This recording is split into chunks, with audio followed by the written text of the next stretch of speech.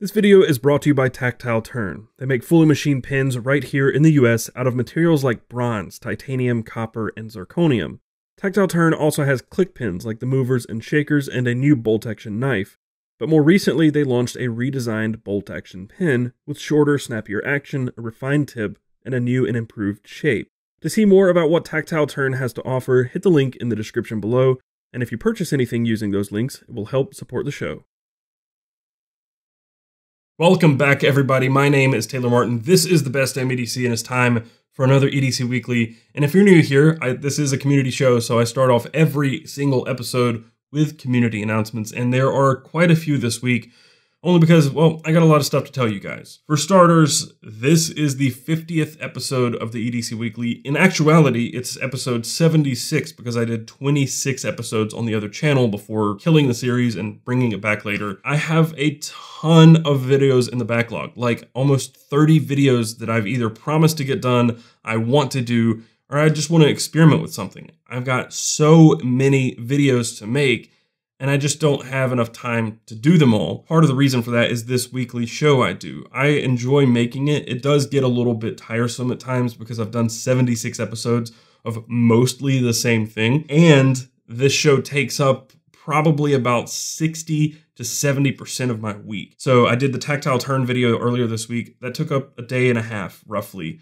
The rest of the week was spent working on this show.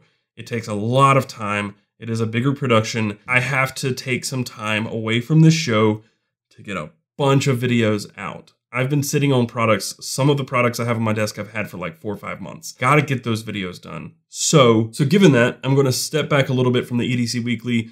I'm going to keep doing it. I'm not stopping it altogether, but it's probably going to turn into like a bi-weekly or once a month thing just until I get caught up. But I also want to mix it up. I want to do something a little different. That's 76 episodes of approximately the exact same thing every time. So I got an idea. I was watching a Peter McKinnon video where he edits your photos. It's very similar to the EDC Weekly, and I asked him, I said, do you mind if I kind of build off that idea and do something similar with my show just to mix things up a little bit? And he said, not at all, go for it. So the idea is you will submit your photos and I will edit them how I would because I do edit these photos. I get a lot of questions about it, so I will show you my process, which may or may not be correct. I might be making some photo editing faux pas. I don't know. I have no clue, but I thought it would be fun just as an experiment. So if you guys want to see that, just let me know in the comments down below. Also, don't forget Trayvax has a promotion that is ending at the end of this month, where if you buy any wallet on their website, you get a free Summit wallet. Just use my link down below, and that will put that in your cart when you go to checkout. Also, also, I have the Trayvax giveaway that ends at the end of this month as well. We're giving away 50 Summit wallets. 50. Just hit the link down below, go enter, and you could win one of 50 wallets. And finally, the EDC Weekly winner for the monthly giveaway in June is Max Bernier or Bernier. He submitted this photo right here. Congratulations, Max. I will be in touch. With that said, this week's show doesn't really have a theme. If you were to pick one, maybe, maybe badass knives or something. I don't know. These are just ones that I really, really liked. Some of the best that I've seen this month. So, with all of that said, let's do the damn thing.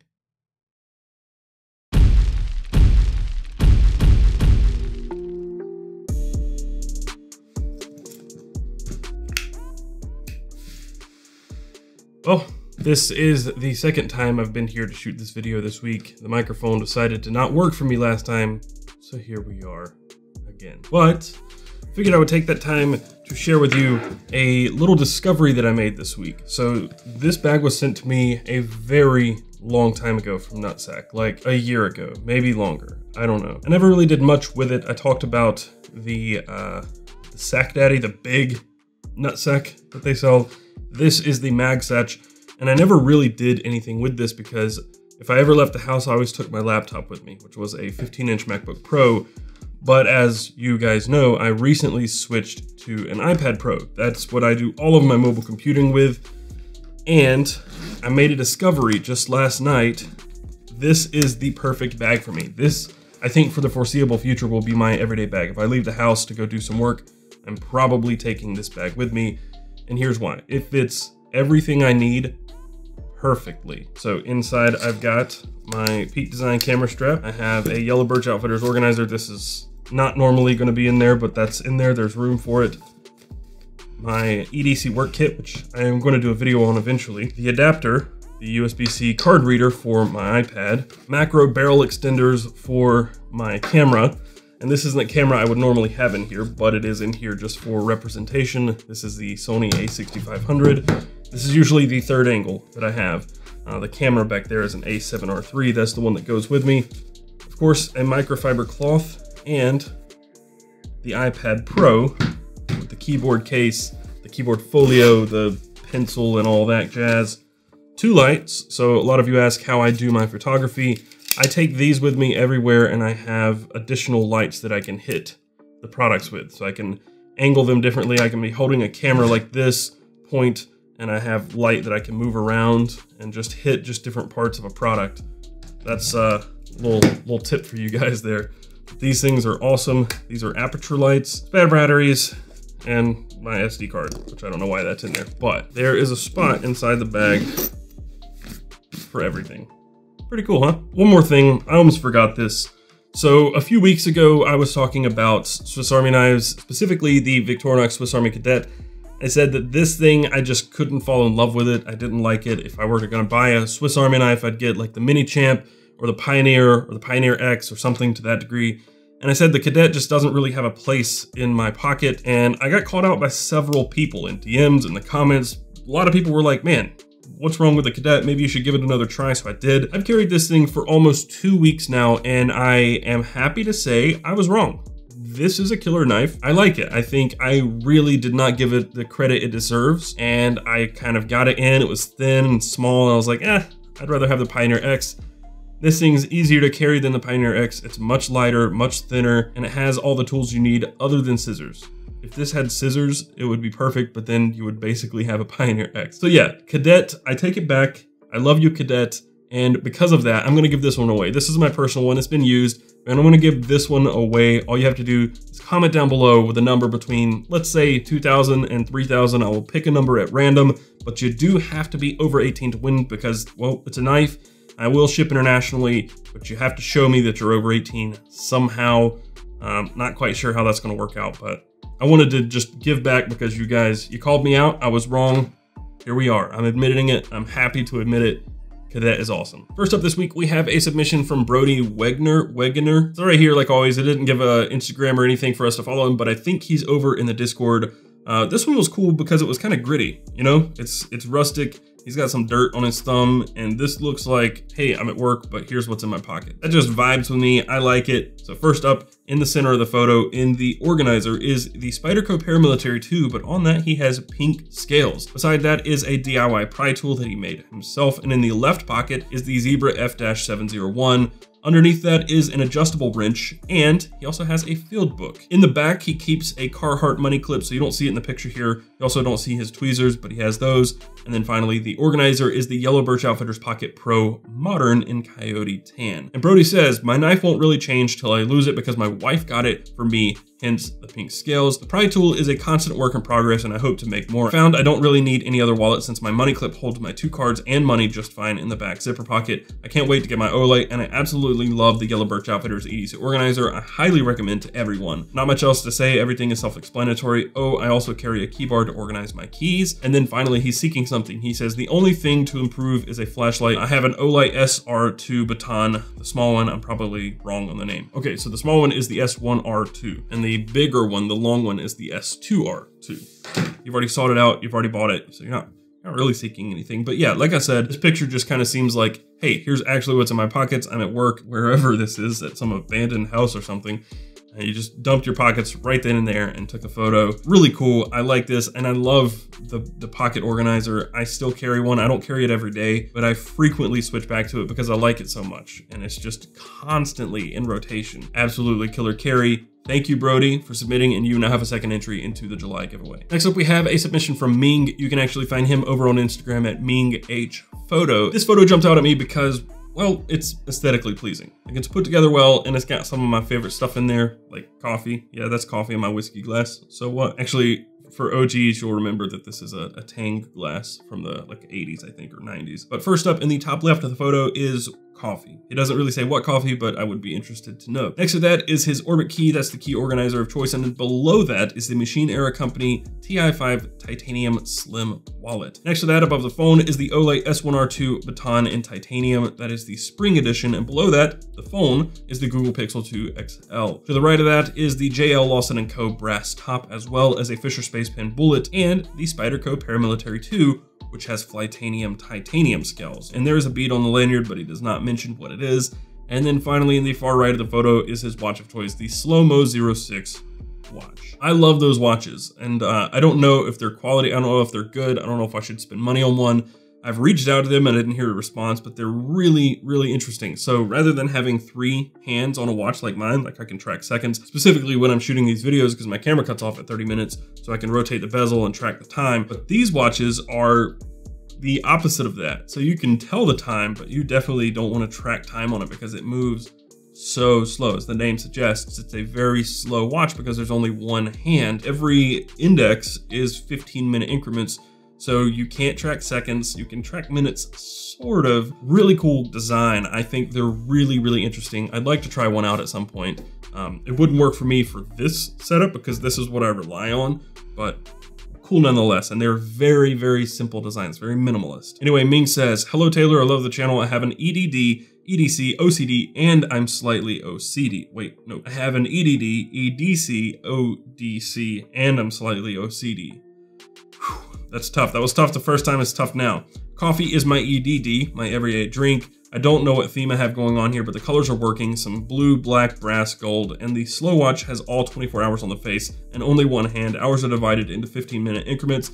The Spyderco PM2 is a tad big and is left at home when I work because I work at an airport, so it's part of my ODC, my off-day carry. It has titanium handles from Flytanium and was anodized and has neat little hex shapes in different colors from a maker on Etsy called Flyaway Toys. The brass Fisher Space Pen Bullet is developing some nice patina. The Machine Era TI5 Slim Wallet is RFID blocking, but I also put some titanium RFID blocking card from Kowtow Wallets no space on Etsy in the wallet as well. It has hex cut out, so it's a tool as well. I mostly work outside, but on the occasion that I work inside, I fiddle with the top of my desk. Keep up the great work, sir. really, really neat. And I like that you've, you know, paired up your hex themes here. Um, I'm a sucker for anything hex. Anyway, this is some great gear. I like the, I don't really know what the theme is either, but I really like it. It's pieced together well.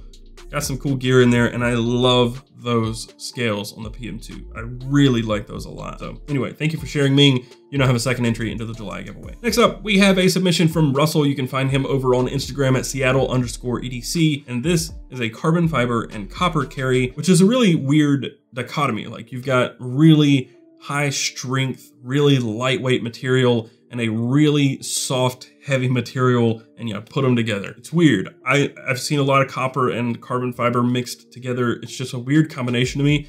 It looks good together. It contrasts really well, but it is also kind of funny that, you know, the carbon fiber super lightweight, super effective and efficient material, and copper is literally the opposite. Anyway, first up in the left of the photo is his keybar. That is the carbon fiber and titanium version of the keybar. He also has an Olight i3E EOS in copper. He uses a keybar magnet also in copper to attach that to his keybar. And he also has a Dylan Grace pry tool. Next to that is the pin. That is the Hinderer Investigator pen in copper with a battlefield pickup finish.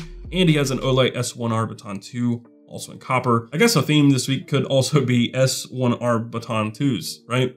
They're, they've been in every single one, or at least mentioned so far. Next to that is his knife of choice. That's the Rick Hinderer XM18. On that, he has copper hardware with Shepherd CC carbon fiber scales. And then underneath everything is a Hanks by Hank Octo Hank. Russell says, It's taken me a while to get exactly what I envisioned. Like everyone else, I love copper and carbon fiber and have found they contrast very well, but I finally got what I wanted and I'll be content for a while. I got the Trayvax Ascent coming in the mail in a couple of days, and I would like the Boulder watch you featured, and maybe a bolt action pen. Oh, and the spry bar. It never ends. Love your show. Keep it up. I thought you said you were content, but you just listed all the things you want. There is no contentment in the world of EDC. That's just the way it is. I said I was content, and then I ended up buying a large Sebenza, and I was like, now I'm content, and now I want something else. You know, I want a Grimsmo Norseman or something. Uh, it never ends. I'm never happy. I just want all the things. That's it. I just want all the things. So why don't we all conspire together? People from the Charlotte area will conspire together. We'll go together and buy all the things and then we'll just have like a space where we can go. We don't have to take things out of there. We can just go there and flip something open twice and leave. Like that's all we want to do anyway, right? You want to hold it, flip something, maybe cut a box. We'll just have stacks of Amazon boxes we can cut and then walk out and leave. You know, we're gonna call it the EDC Center. Don't steal my idea. just kidding. It's a really dumb idea, but also I would go there. I'd go there and hang out. Anyway, this this carry is really cool. I love those Hinderer Investigator pens. I really do. Like, I'm not a huge twist cap pin guy, but I love the way these look. The, the design on the body is just interesting. I would suggest maybe to keep your theme going here, swapping out that one titanium scale on your key bar for a copper one. Anyway, awesome carry. I love when people piece things together like this. Really great stuff. I'm rambling again. Thank you for submitting and you now have a second entry into the July giveaway. Next up, we have a carry from Jason G. And this one, when you think about badass knives, most people don't think about slip joints or traditionals I'm the opposite. If there's a really nice slip joint or traditional, it's badass to me. The Benchmade proper is badass. I love that knife. And also, I bought the Northwoods Little Bay. Love it. It's smaller than I expected, but I absolutely love it, and it's badass. What about burlap micarta on a clip point traditional like Barlow pattern is not badass. I love it. It's just exactly what I want for a classy, dressy knife. Anyway, this knife fits that bill as well, and it doesn't have to have a flipper tab or a thumb stud or anything else to be badass. This one is badass. Anyway, first up in the left of the photo is the Herschel Charlie wallet in black leather. And on top of that, you know, just casual Rolex wear is the Rolex Explorer 2. Behind that is Burt's Bees lip balm. And then next to that is the knife in question, the GEC number 43 in natural canvas micarta. Below that is his Victorinox, that is the Swiss Army Tinker Warthog edition. And then in front of that are his Apple AirPods. And then finally, not pictured here, is his phone, that is the Apple iPhone 8 Plus, which I imagine was used to take the photo. He says, these are the things I had in my pocket today as my EDC changes often. The standards are a Victorinox as a backup knife and a multi-tool and a larger folder. Lately, I've been really into Great Eastern Cutlery Traditionals. The fit and finish is great, and even a larger blade like the number 43 is less intimidating and tactical when I pull it out to cut boxes or food at the office. And he's also seeking something he says, I'm still looking for a quality pocket slip for the GEC. Such a nice knife, it deserves a proper slip. And it's funny you should say that because I think this knife would fit inside the Hitch and Timber proper slip, and that's what I would suggest. It has a pin loop which will hold something like a Fisher Space Pen Bullet, but also can fit the proper or something similarly sized like this number 43. I don't know if it's the right size. You could probably DM Hitch and Timber on Instagram or email Michael. He may know. If anybody in the comments knows, let us know if the number 43 fits in the proper slip, but there are a lot of different slips he has. If you didn't want the pin loop, I think you can also add notes saying to leave the pin loop off. That would be my suggestion. There's also, if that's not a good fit for it, if it's too small or too big, uh, Popov Leather also has the EDC Armor. Similar products, really awesome carry. Thank you for submitting, and you now have a second entry into the July giveaway. All right, the fifth and final submission this week comes from Graham Howe. You can find him over on Instagram at the EDC Kid. And the first time I shot this, Jabin was here helping me out, and he said, Why did you save this dinky carry for the last one? Dinky. Really. Shamwari dinky carry. Don't blame him. Jabin is still learning. He's he's figuring things out.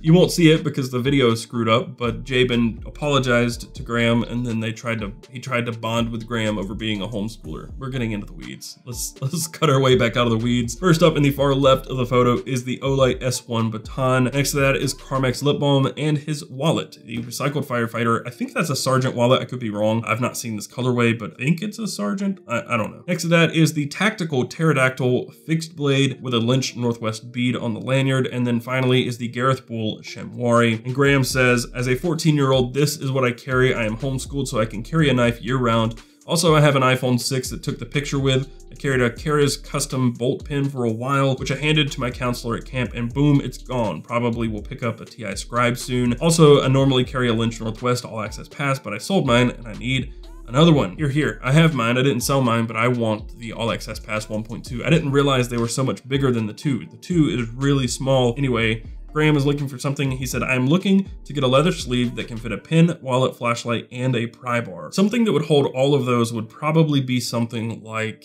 the Duzzle from Hitch and Timber. A wallet, yes. It'll hold a pin, a flashlight, and a pry bar. It wouldn't hold this flashlight. Maybe you could look into an urban organizer from, from Urban EDC Supply, maybe? I don't know. I used the Urban Organizer Hybrid as a wallet for a long time. I would put my pin in there, a small knife like the Proper or the uh, small Sebenza or a Swiss Army knife, uh, pocket notebook. I would put my cards in the back, but no room for a flashlight. I don't like I don't like thick lights like the S1R or the S2R or anything in a leather organizer or really in an organizer at all. This one's fine because it resides on my belt This is the mini clip trio or mini trio clip.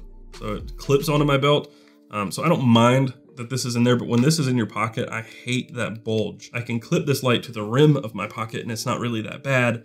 But when a pocket organizer like this goes down into your pocket and it bulges like that, I cannot stand it. I, I, really don't know if anybody has an idea for what leather organizer would hold those items for him. That again is a wallet, pin, flashlight, and a pry bar.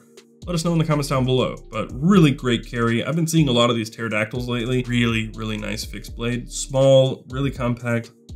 Like that a lot. And I'm also becoming a huge fan of those combo grinds with the hollow and then a flat grind on the the tip. I guess it's a Tanto. Is that a Tanto? Almost like a Sponto. I don't know. I like the Pterodactyl. I think it's a really neat looking knife. I love rock pattern everything. And those chamois are just so clean. Man, they're so clean. But they're also very pricey. Anyway, thank you for sharing, Graham. You don't have a second entry. Actually, you don't have a second entry into the July giveaway because you're 14.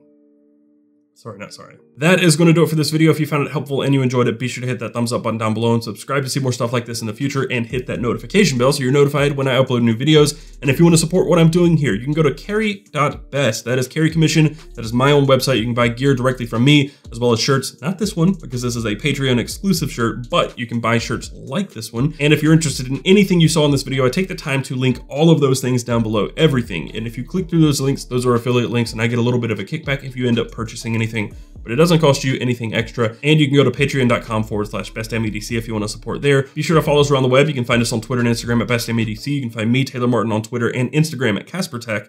And until next time, carry on.